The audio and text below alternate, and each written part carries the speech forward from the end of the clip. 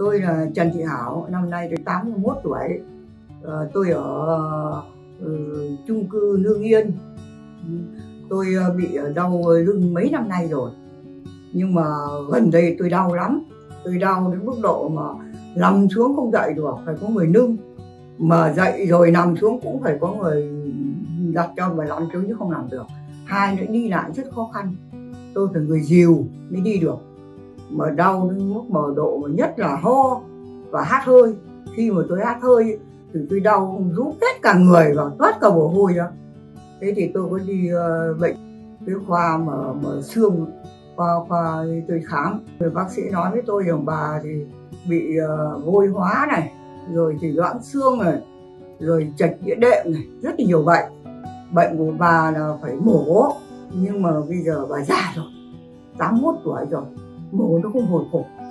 Thì bây giờ tốt nhất ấy là bà đi về để uh, trị liệu vật lý trị liệu. Lo. Thế sau đó may làm sao thì được cái bà cụ ấy.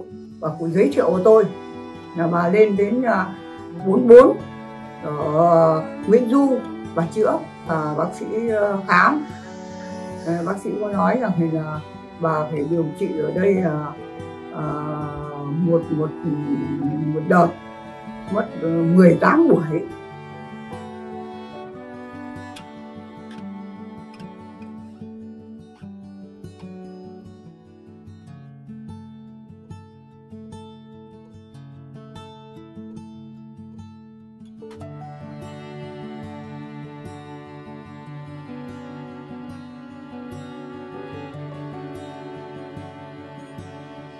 Thì tôi điều trị 3 tuần thì tôi thấy đỡ cũng có có chuyển biến. Tức là hết 18 buổi là tôi đỡ hẳn.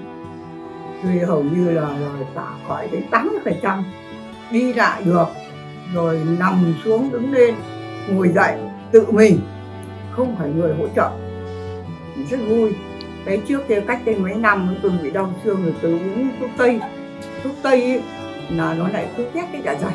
Sau đó tôi được đi chữa dạ dày. Đấy đến bây giờ thì đỡ dạ dày. Nhưng mà đến đây á thì tốt nhất là không uống viên thuốc nào. Đấy. không phải uống một viên thuốc nào kể cả viên thuốc bổ tôi không phải uống. Nếu mà các bà các ông các bác mà bị đau xương đau ờ, lưng đau cổ nói chung về đau xương khớp thì lên đến cái chỗ này là bốn bốn Nguyễn Du để mà điều trị. Tôi chỉ mách các bác thế thôi vì là tôi cũng được có người mách. Cho nên tôi đến đây để tôi rất là, là tin tưởng. Bây giờ tôi khỏi giờ tôi rất vui.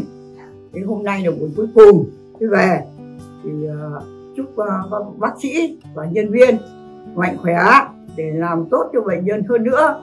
Tốt rồi như tốt nữa. Xin chúc sức khỏe.